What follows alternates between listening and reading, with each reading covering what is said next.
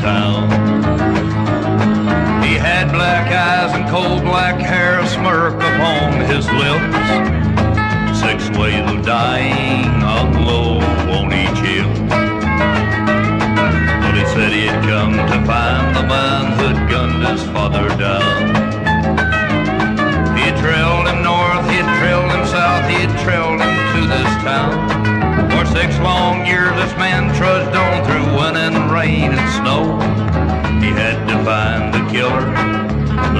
He hated so.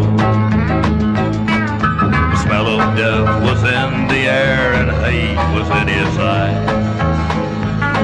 We knew before the sun would set someone was bound to die. We tried to tell this stranger to ride on out of town. We told him this was not the man who'd gunned his father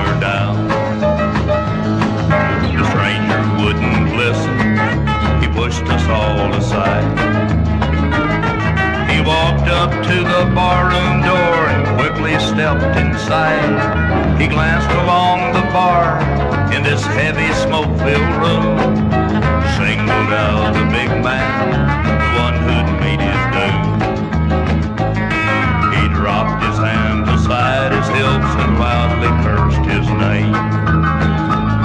Said the time will come for payment play this deadly game.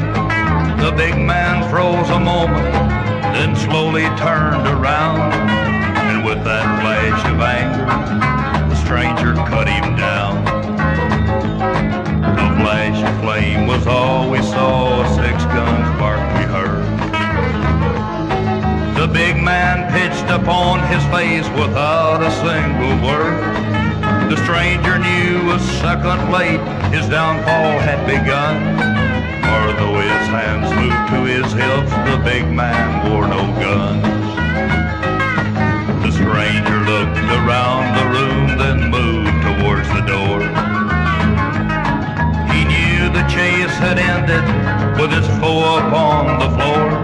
But he knew his fight was far from won, for it had to live us down.